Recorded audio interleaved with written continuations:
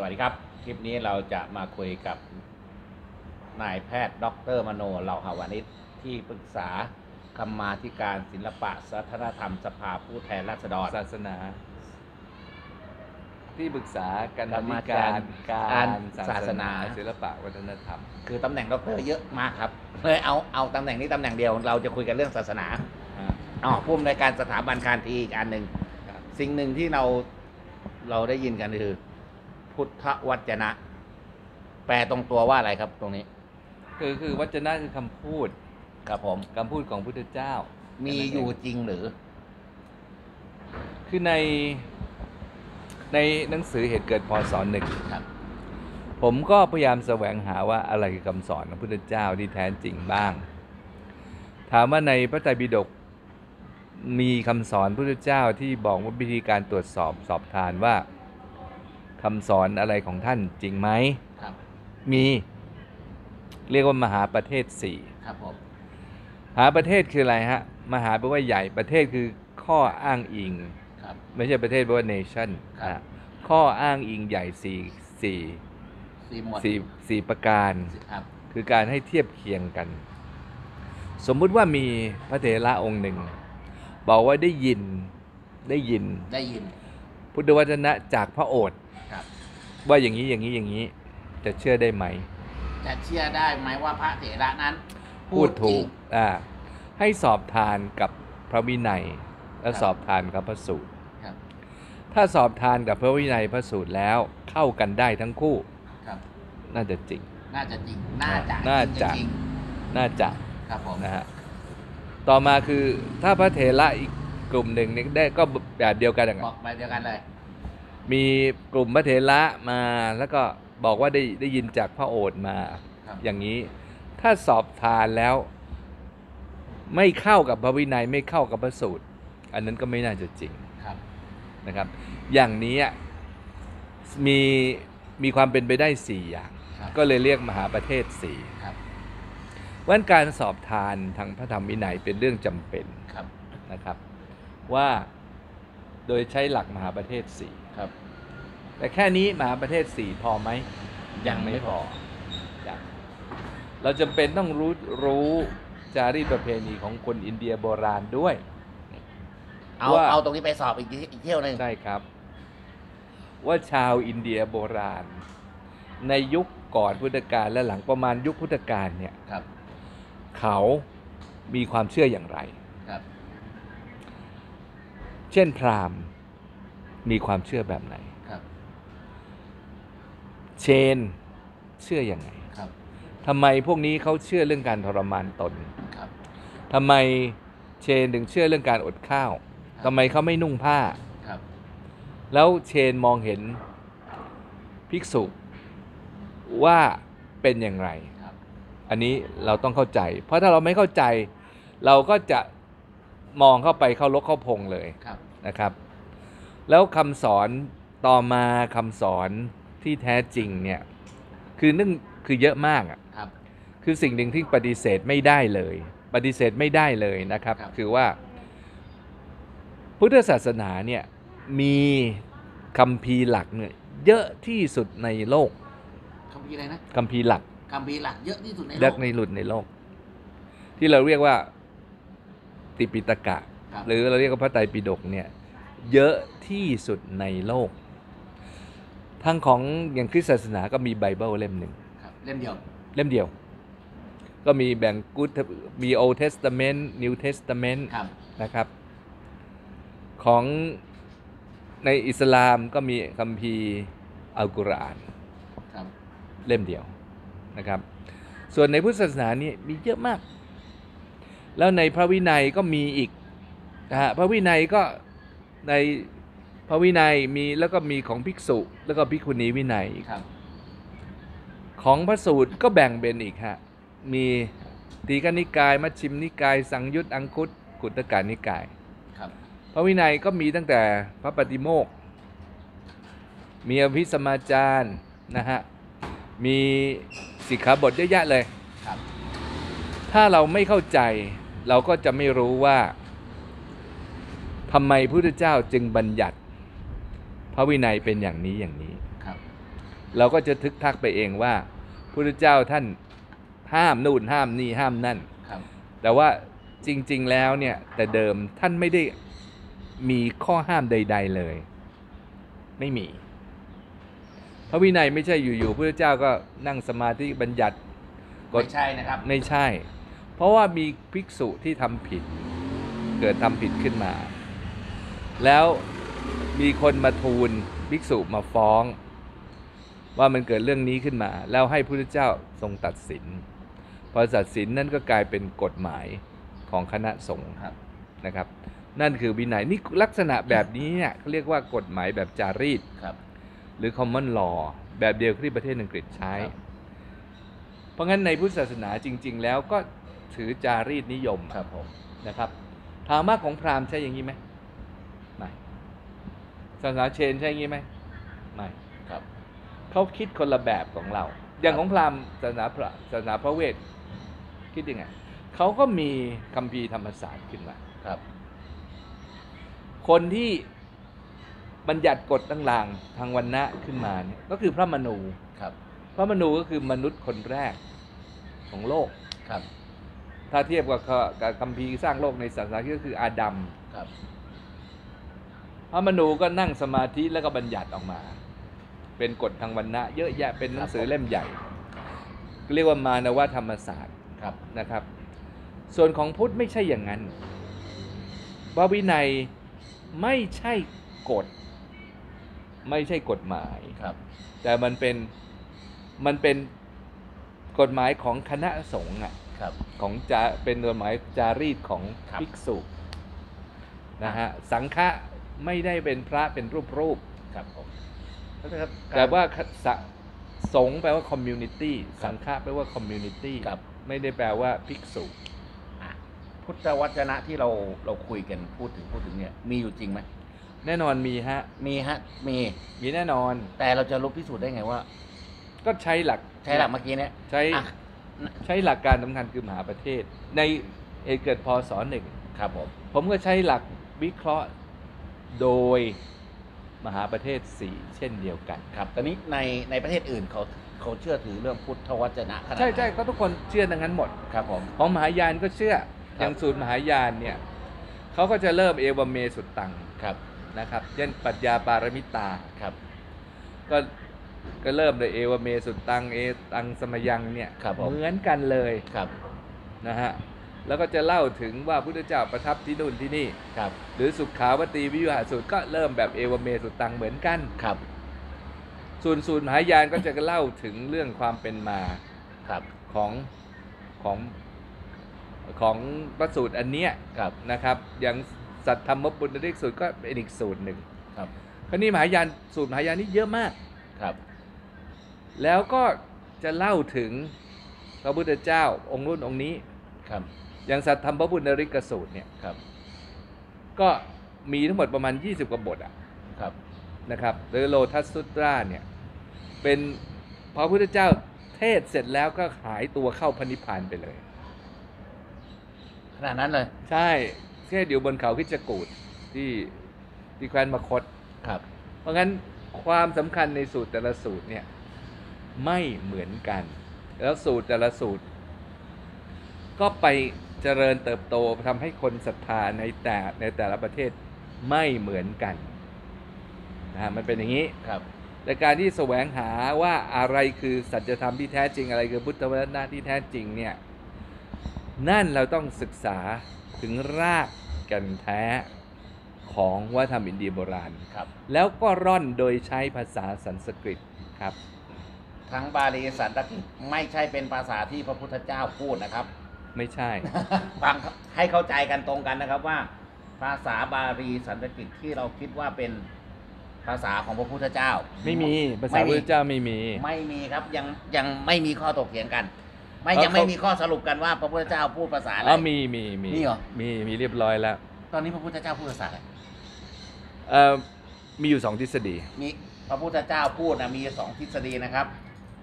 ทฤษฎีที่หนึ่งเนี่ยเป็นทฤษฎีของเอ่อศาสตราจารย์รอยนอร์แมนรอยใช่นอร์แมนที่เคยเป็นประธานของสมาคมบาลีเท็กซ์ o ซ i ตี้ครับหรือที่เราเรียกว่าสมาคมบาลีปกรณ์น่ะซึ่งครับเป็นสมาคมใหญ่ที่ศึกษาเกี่ยวกับคัมภีร์ทางด้านภาษาบาลีครับพุทธศาสนาเทรวาสเนี่ยก็มีทฤษฎีว่าพุทธเจ้าเนี่ยตรัสภาษาถิ่น ขึ้นอยู่กับผู้ฟัง คือท่านพระพุทธเจ้าพูดเป็นภาษาถิ่น ขึ้นอยู่กับผู้ฟังว่าเป็นภาษาเป็นคนที่ไหน เป็นคนดิ่งไหน เพราะท่านมีนิรุกติยานทัศนะครับผมคือท่านรู้ทุกภาษาครับ ใครถามพูดภาษาอะไรมา ท่านก็จะตอบภาษานั้นครับไป ซึ่งมีรอยนอร์แมนเป็นคนเชื่อในเรื่องทฤ ษฎีนี้ทฤษฎีนี้ว่าพุทธเจ้ามีนิรุกติยานทัศนะพูดได้พูดได้พูพูดดได้ได้ทุทุกกภาษา พูดภาษาถิ่นของชนเผ่าอินเดีย ได้ทุกภาษาได้เลทุยกภาษานะครับครับก็นี้อีกทฤษฎีหนึ่งเป็นของ professor Lambert Schmidhausen ครับของมาลายฮัมเบิร์กท่านก็เชื่อว่าพระพุทธเจ้าพูดภาษาของท่านเนี่ย เป็นภาษาของของแคว้นโกศลภาษาของแคว้นโกศลแคว้นนี้อยู่ในเมืองอะไรปัจจุบันครับ ก็อยู่ทางตอนเหนือของอินเดียครับผมนะฮะแคว้นโกศลเนี่ยนะครับ คือ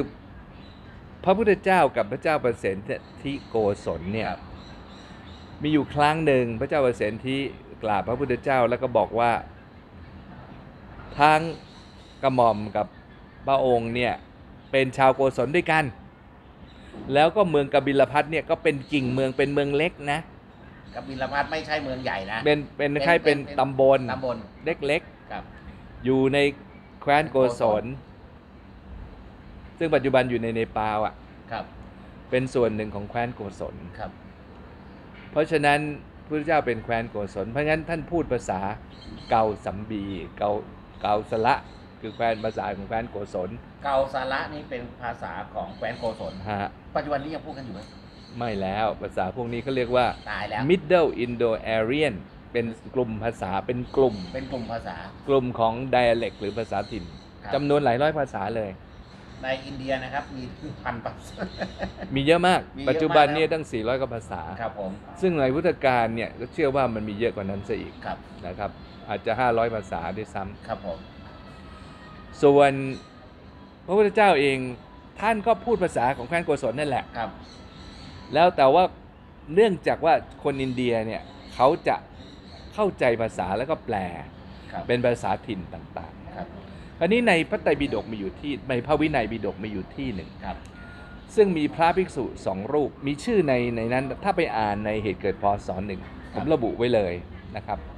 มีพระภิกษุสองรูปเป็นวันณะพราหมณ์ทั้งคู่ครับมากราบพุทธเจ้าแล้วก็บอกว่าภิกษุทั้งหลายเนี่ย กำลังถ่ายทอดพุทธวจนะ โดยใช้ภาษาของตนของตน เรียกว่าสักกษะภาษาครับซึ่งทำให้ข้อความมันเพี้ยน แล้วทั้งสองรูปหนึ่งก็อาสาจะประพันธ์ยกพระพุทธวจนะนี้ขึ้นสู่ขึ้นสู่สันดาโสครับก็มีอัตอรรถกถาซึ่งเขียนได้ที่ศรีลังกา ก็บอกว่าฉันทโสก็คือภาษาสันสกฤตครับนั่นเขียนไว้เมื่อพศพันหนึ่งคือหลังจากพระพุทธเจ้านิพพานอ่าไปแล้ว 1,100 ปี ปัจจุบันเรารู้ว่าฉันทโสเนี่ยมันเป็น chapter หนึ่ง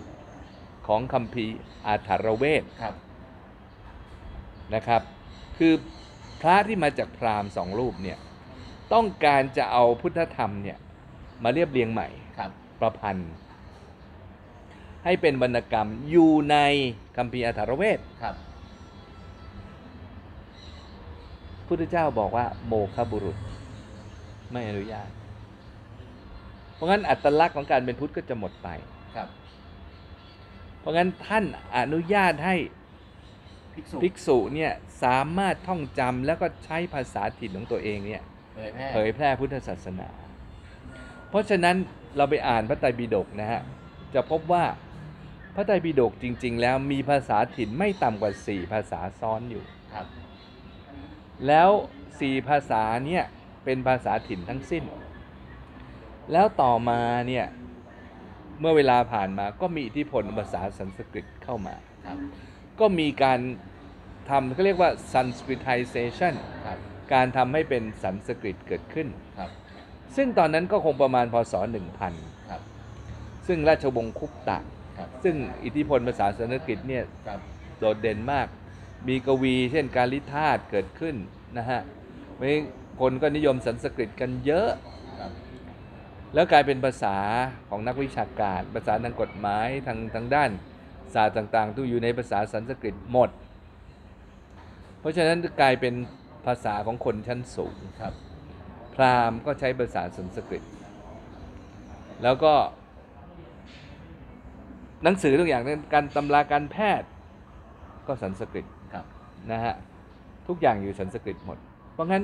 ก็มีกระบวนการทำให้ภาษาถิ่นเหล่าเนี้ยเป็นภาษาสันสกฤต ก็อยู่ในพระไตรปิฎกทับมาอีกชั้นหนึ่งครับ แต่รากเหง้าเดิมนี่เป็นภาษาสันสกฤตภาษาถิ่นอยู่หลายสามสี่ภาษา ก็ยังเป็นอยู่อันนี้คราวนี้ต่อมาต่อมา ถ้าเราเปรียบเทียบนะฮะภาษาที่อยู่ในพระไตรปิฎกเนี่ยครับ เปรียบเทียบกับสำหลักศิลาจารึกพระเจ้าอาโศกตรงกันไหมจะพบว่ามันจะใกล้เคียงกับศิลาจารึกที่พบที่เมืองที่แคว้นกุจราชครับ แคว้นกุจราชที่ทางตะวันตกสุดครับ ของอินเดียนะฮะติดกับปากีสถานครับ ซึ่งเราเรียกภาษาบาลีคือภาษามาคัตถีเนี่ยครับถ้าไปเรียนธรรมะนะครับ เรียนนักธรรมเรียนภาษาบาลีก็จะบอกว่า แปลสู่ภาษามคตมคตภาษาครับนั่นคือเข้าใจผิด เพราะว่าศิลาจารึกที่อยู่รอบกรุงปาตาลีบุตรเนี่ย เรานั่นคือภาษามคตถูกไหมฮะ ครับ มาคัตทีเนี่ย ปรากฏว่าไม่เหมือน เพราะอะไรฮะ ในภาษามาคัตทีที่พบศิลาจารึกพระเจ้าอโศกเนี่ย ถ้าเป็นเอกวัชนะปงลิง เพศชายจะลงด้วย A แต่ของบาลี O ครับ อันนี้อันที่หนึ่ง อันที่สองในภาษามามาคตสมัยพระเจ้าอโศก มีการใช้สอสลา อ่าแล้วก็มีสอเสือ ครับแต่ของบาลีไม่มีสอสลา มีแต่สอเสือครับสองอะ อันที่สามรอเรือ ในภาษาบาลีคงรูปครับนะครับ ไม่เปลี่ยนเป็นลอลิง เพราะงั้นนี่คือเป็นเอกลักษณ์อย่างหนึ่ง ที่ทำให้บาลีแยกจากภาษาถิ่นอื่นที่เรามีอยู่ในพระไตรปิฎกเพ ราะงั้นถ้าเปรียบเทียบกันเนี่ยภาษาบาลีในพระไตรปิฎกปัจจุบันเนี่ยเข้าใกล้ศิศิลาจารึกที่เมืองกีรณะในครับในแคว้นเนี่ยในรัฐกุจราชมากที่สุด ไม่ใช่มคต เห็นไหมฮะงั้นผมเชื่อว่าเมื่อพุทธศาสนา เผยแพร่มาที่ศรีลังกาในสมัยพระเจ้าอโศกเนี่ยนั่นเป็นการเผยแพร่ทางการเมืองครับ เพราะศรีลังกานั้นเป็นเมืองเล็กเป็นเกาะถูกไหมครับครับ สมัยพระเจ้าอโศกนั่นคือมหาอำนาจครับ มีอำนาจมากครับ แล้วก็บอกว่าส่งส่งลูกชายลูกสาวมาเผยแพร่ที่ศรีลังกา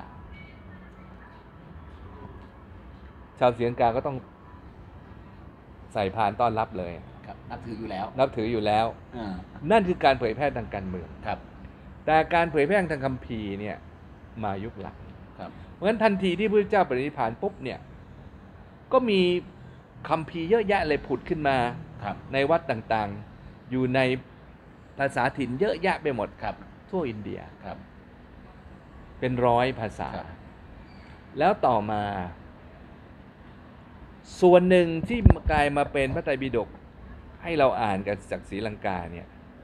ก็มาจากแคว้นกุจราช ซึ่งนั่งสำเภามาไม่นานก็ถึงครับ วันสองวันก็ถึงแล้วเอามา นั่นคือการเผยแพร่ทางคัมภีร์ครับ เพราะฉะนั้นการเมืองการเผยแพร่ทางการเมืองนี่อันหนึ่ง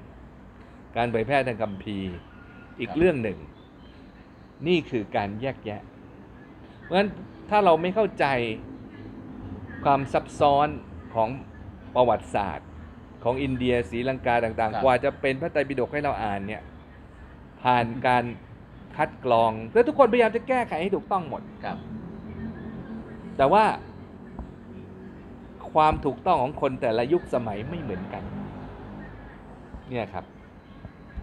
ก็นี่แหละครับสำหรับผู้ศึกษาพุทธวจนะนะครับ มีอยู่จริงหรือไม่มีอยู่จริง หรือจะศึกษายังไงก็เป็นทางทางเลือกหนึ่ง คือคือ จำเป็นต้องเข้าใจแบบนี้ครับ แล้วต้องรู้ศาสนาพราหมณ์อย่างดีครับ คือผู้ที่ศึกษาวจนะ พุทธวจนะต้องรู้ไม่ได้รู้เฉพาะพุทธศาสนาอย่างเดียว สรุปให้ฟังที่ต้องต้องต้อรู้งอะไรต้องรู้จักภาษาศาสตร์ ภาษาเขาเรียกว่า Middle Indo-Aryan o Indo-Aryan ครับผมภาษาพระเวทก็ต้องรู้ครับนะครับ ภาษาถิ่น ครับโบราณก็ต้องรู้ ครับ แล้วสำคัญก็คือว่า วัฒนประวัติศาสตร์วัฒนธรรมอินเดียโบราณเนี่ยครับ เป็นยังไง ทิ้งไม่ได้เลยครับครับอิทธิพลของศาสนาที่ได้มาตกทอดมาครับ อย่างของของนักบวชของเชน บรรพชิตของเชนเรียกว่าสัมมณะกับสัมมณีครับ แต่ของไทยของของในพุทธศาสนาเราเป็นภิกขุกับภิกขุณีครับ เห็นไหมฮะ ไม่เหมือนกันละครับทำไมต้องมาแยกกันด้วยอะครับทำไม ทำไมคนอินเดียเรียกว่าสัมมณโคดมครับทำไมเป็นอย่างนั้นครับก็พระพุทธเจ้าเคยเป็นนักบวชเชนมาเก่าอ๋อท่านเคยประพฤติบำเพ็ญพรตอดอาหาร ซึ่งเป็นความเชื่อของเชนมาเก่าครับผมท่านถึงทำอย่างนั้นคำอันหนึ่งที่แน่ชัดเลยว่าเป็นของพุทธวจนะแน่นอนก็คือการพิจารณาอภินหปัจเจเวคณปาฐะครับ การพิจารณาอย่างพระภิกษุจะบริโภค อาหารโจมจีวรเนี่ยเขาก็ท่านต้องพิจารณาว่า อาหารเนี่ยมันมันเป็นธาตุมาชนกับธาตุมันไม่มีไม่มีไม่มีชีวะ นิสัตโตนิชีโวสุญโยครับต้องท่อง เพราะพวกเชนถือว่าอาหารนั้นมันมีชีวะ เห็นไหมฮะครับ มันเป็นมันเป็นจุดยืนที่ศาสนาต้องการจะแยกนี่คือทางสายกลางนะ ทางสายกลางหรือ middle way เนี่ยในพุทธศาสนาเนี่ยไม่ใช่สายกลางในกลางในเชิงที่เป็นคำคุณศัพท์มาขยาย ไม่ใช่นะ แต่เป็น middle way เขียนด้วยตัวใหญ่ M ใหญ่ เป็นชื่อ proper name ครับ นี่คือทางสายกลางเพื่อสร้างเอกลักษณ์ของความเป็นพุทธ ให้ออกจากเชนครับ แล้วก็ไม่ได้ตึงไปแบบที่ ในศาสนาของพระเวทเชื่อกันว่า ธรรมะสัตอัฏฐกามะ แม้กระทั่งเสพกามเมถุนเนี่ยบำเรมตัวเองด้วยด้วยกาม จะทำให้เข้าถึงนิพพานได้ครับพระเจ้าก็ไม่ยอมรับเพราะฉะนั้นมาเทศนากันแรกอะธรรมจักรกับปวัตนสูตรเนี่ยสำคัญครับเพื่อแสดงถึง ปฏิปทา ซึ่งแยกจากของของศาสนาพระเวทครับแยกจากของเชนให้เด็ดขาดนั่นแหละครับ อันเนี้ยเป็นเอกลักษณ์ของพุทธแน่นอน ครับ แค่นี้ครับ